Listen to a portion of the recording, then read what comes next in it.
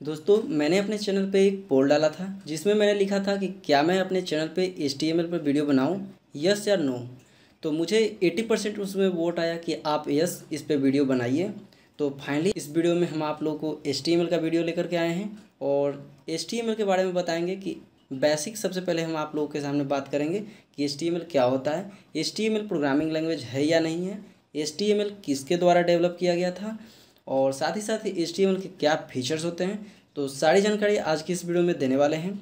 और अगर आप हमारे चैनल पे नए हैं तो प्लीज़ हमारे चैनल को सब्सक्राइब कीजिए, क्योंकि मैं इसी तरीके का वीडियो आप लोगों के लिए हमेशा बनाता रहता हूँ। तो चलिए दोस्तों, वीडियो को शुरू करते हैं। सबसे पहले दोस्तों, हम बात कर लेते हैं कि एच क्या होता है और एच में क्या फीचर्स होते हैं और एच क्यों प्रोग्रामिंग लैंग्वेज नहीं है ये भी हम इस वीडियो में बताएँगे।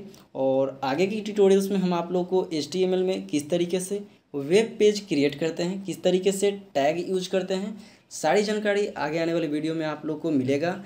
तो ये मेरा फ़र्स्ट वीडियो है HTML पे। तो प्लीज़ हमारे चैनल को सब्सक्राइब करके रखिए। हम जब भी वीडियो अपलोड करेंगे तो इसका नोटिफिकेशन आपको मिल जाएगा। तो सबसे पहले हम इसमें हम बेसिक बात करेंगे कि एच क्या होता है। तो चलिए दोस्तों वीडियो को स्टार्ट करते हैं। सबसे पहले what is H T M L H T M L stand for hyper text markup language it is not a programming language it is a markup language it is use to develop web page created by Tim Berners Lee तो दोस्तों H का full form hyper text markup language होता है और H programming language नहीं है, यह एक मार्कअप लैंग्वेज है और यह टीम बर्नर ली के द्वारा डेवलप किया गया था। इसका यूज़ वेब पेज क्रिएट करने में, वेब पेज डिज़ाइन करने में किया जाता है। साथ ही साथ यहाँ पे हाइपर टेक्स्ट का क्या मतलब होता है, वो भी हम आप लोगों को बता देते हैं। हाइपर टेक्स्ट ये text which contents link to other text एक टेक्स्ट से दूसरे टेक्स्ट को लिंक करने के लिए हम हाइपर टेक्स्ट का यूज़ करते हैं।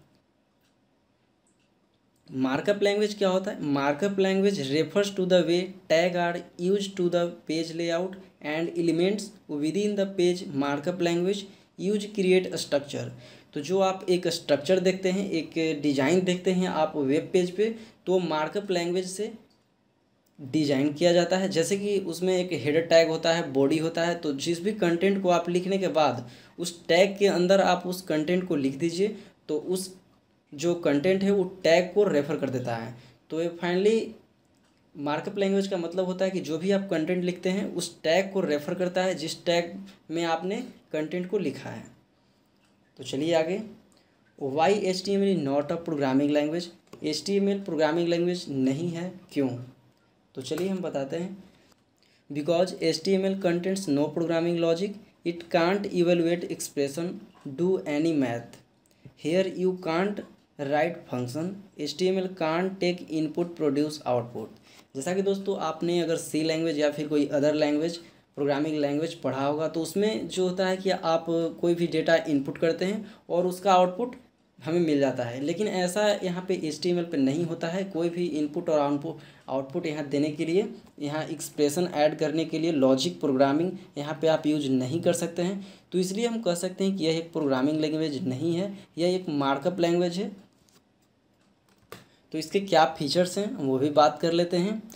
Features of H T M L it is very easy and simple ये बहुत ही आसान और सिंपल है। आप इसे कोई भी राइट कर सकता है। थोड़ा सा आप मेहनत कीजिएगा। आप बड़ी आसानी से H T M L language को सीख सकते हैं। सेकेंड है it is a markup language यह एक मार्कअप लैंग्वेज है।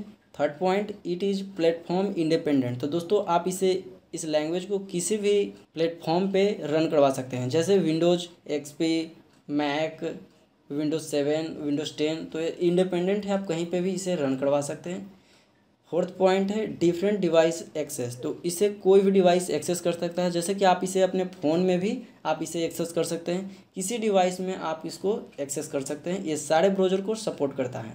फिफ्थ पॉइंट जो है ऐड मल्टीमीडिया तो यहाँ पर दोस्तों आपको फैसिलिटी मिल जाता है। तो आप graphics video audio photo image आप लिंक भी यहाँ पे ऐड कर सकते हैं। जैसे कि आपको प्रोग्रामिंग में इस तरीके का कोई भी नहीं मिलता है फैसिलिटी जहाँ पे आप ऑडियो वीडियो और वहाँ पे भी मिलता है, लेकिन यहाँ पे एक यूज़र फ्रेंडली जो होता है, वो यहाँ पे आपको इन्वायरमेंट मिलता है। सिक्स जो पॉइंट है it has facility to add link on web page तो जैसा कि हमने फिफ्थ में भी बता दिया था कि आप यहाँ पे वेब पेज पे अपने लिंक को ऐड कर सकते हैं। जैसे कि फेसबुक हो गया व्हाट्सएप गूगल यूट्यूब कुछ भी यहाँ पे आप लिंक वेब पेज पे अपना ऐड कर सकते हो। आई होप दोस्तों, इस वीडियो में आप लोग सीख गए होंगे कि एच क्या होता है, क्या फीचर्स हैं, और यह प्रोग्रामिंग लैंग्वेज क्यों नहीं है। साथ ही साथ मैंने बताया कि किसके द्वारा डेवलप किया गया था। तो आगे आने वाली वीडियो में हम आप लोग को बताएँगे लाइव प्रैक्टिकल कि किस तरीके से वेब पेज का जो हेडर टैग होता है, टाइटल होता है, उसका कंटेंट्स किस तरीके से टाइप करते हैं एच वन क्या होता है एच टू टैग क्या होते हैं ए लाइट टैग क्या होते हैं मेनू टैग कैसे क्रिएट करते हैं इनपुट बॉक्स कैसे क्रिएट कर सकते हैं ऑप्शन बटन कैसे क्रिएट करते हैं, सारी जानकारी आज आप लोगों को, सारी जानकारी आगे आने वाली वीडियो में हम आप लोग को देने वाले हैं। तो मेरे चैनल को सब्सक्राइब करके रखिए और अगर वीडियो पसंद आए दोस्तों तो प्लीज़ हमारे वीडियो को लाइक ज़रूर कीजिएगा। Thank you so much.